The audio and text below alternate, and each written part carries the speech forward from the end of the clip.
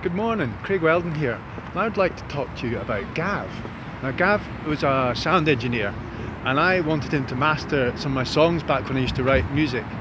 So I went along to him and I, you know, showing me how he did stuff.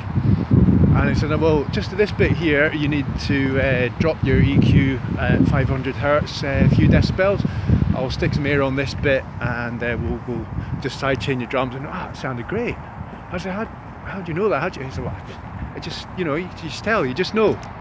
So I went back and I had to go with another track of my own and it just sounded awful. It's like, how did Gaz know what to do and I didn't? And the answer is domain knowledge. Uh, it's the same thing uh, a tennis player. How would they know uh, where to go when a ball's been hit at them? Uh, the ball's going so fast, they, they can't know. They have to already know where the ball's going before the opposition player hits it. The reason they know that domain knowledge. How does a chess uh, master know what moves to play when there's so many thousands of possibilities? Domain knowledge. How does a business analyst know um, what combination of techniques to use uh, in any given situation?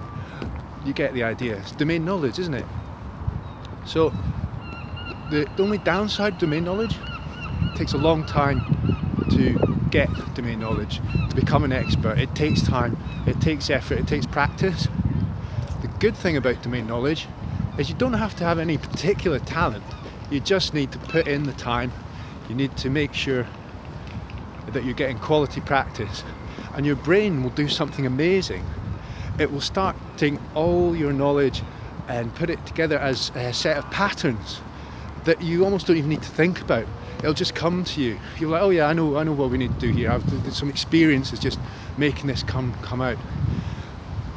The only thing though, you can't get domain knowledge just by reading about something. You do have to do it.